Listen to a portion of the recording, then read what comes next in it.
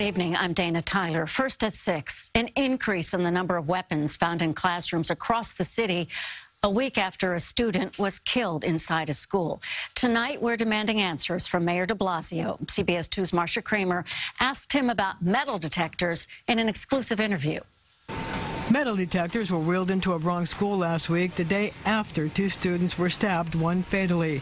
But Mayor de Blasio doesn't want that to be the norm in New York City schools. Do we aspire to a society where every kid has to go through a metal detector to go to school? No. Still, there's been a steady drumbeat from parents and from union officials worried about the growing number of weapons that are turning up in schools.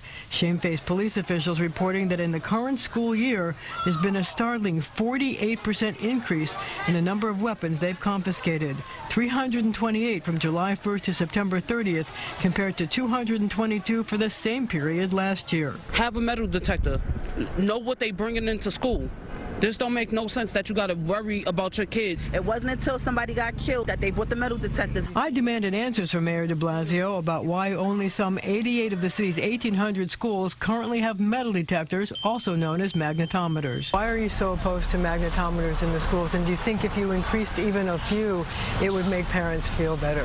I'm not opposed to them. I think it has to be a decision based on the judgment of the NYPD. My belief is the ultimate security experts in New York City is the NYPD.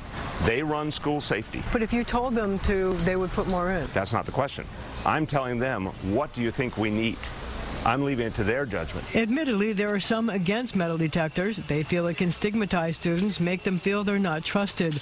But in a post 9 11 world, a society where people routinely face increased security, people go through airport magnetometers. I go through a magnetometer Sure. at City Hall. You have to, you know, But certain- it's a different reality than a young person going to school.